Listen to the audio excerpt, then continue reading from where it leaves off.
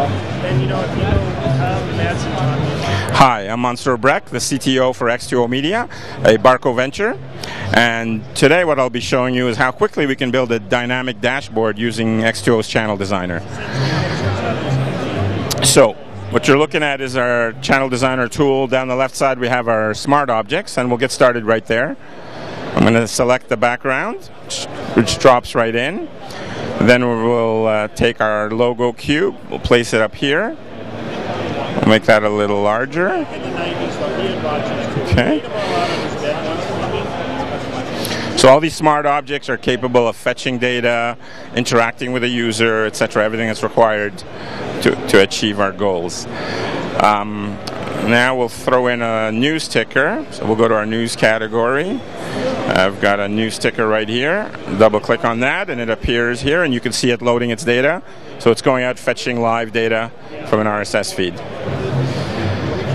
Now we'll turn our attention to some of our dashboard objects, which are a series of pie, pie charts, line charts, bar charts, etc.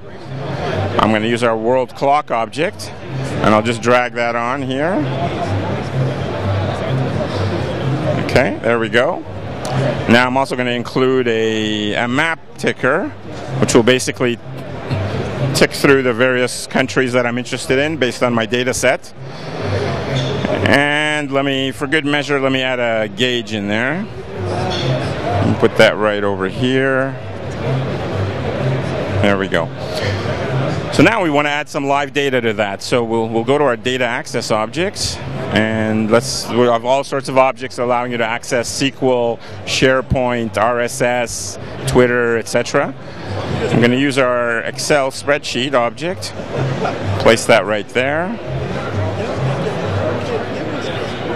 Okay, uh, double click on that object and we'll go right into our repository and we'll see what uh, we'll see what spreadsheets are available. Here's one that we've prepared for the show. We'll select that. I get a little preview of the data right here. And now I'm going to drag and drop it onto those charts. So we'll take the country column and I'll make that the label for this map.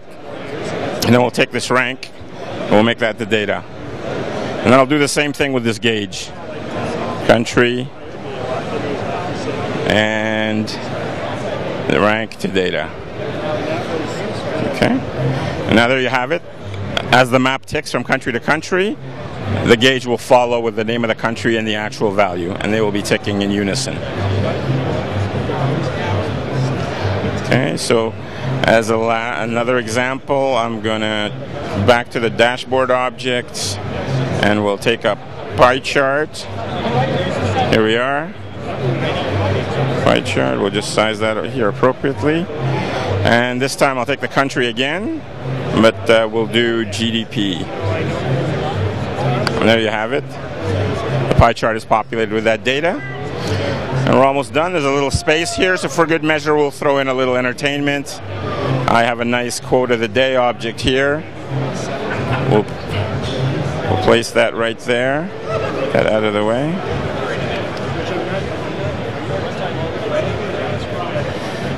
Okay. There are. Abraham Lincoln was clearly a visionary. so there you have it. I've built the channel now. I'm going to save it and we'll, we'll take that to air and see how that looks. So save the channel.